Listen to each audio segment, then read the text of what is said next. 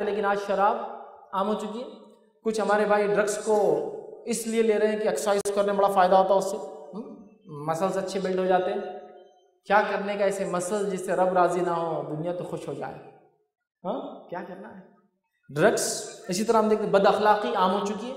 Girlfriend और boyfriend का तो मामला ये है कि अल्लाह रहम करे, आज हालत ये है, जो लोग कॉलेज स्कूल की लाइफ से वाकिफ़ नहीं है, वो लोग नहीं समझ पाएँगे जिनकी उम्रें काफ़ी ज़्यादा होगी और आज क्या चल रहा है। नहीं, लेकिन जवान समझ, नौजवान समझ लेंगे मेरी बात। गर्लफ्रेंड बॉयफ्रेंडशिप का रिलेशन तो ऐसा है मतलब एक गैर महरम लड़की से दोस्ती होना या गैर लड़की का गैर महरम मर्द से दोस्ती होना इतना ज़रूरी है कॉलेज में कि जिसकी गर्लफ्रेंड और बॉयफ्रेंड नहीं रहे, उसको पूरे कॉलेज में लोग बोलते बेचारा और बेचारी।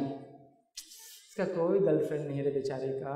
मतलब इस बेचारी को कोई बॉयफ्रेंड नहीं है। मतलब इतना मतलब गुनाह इतने चमक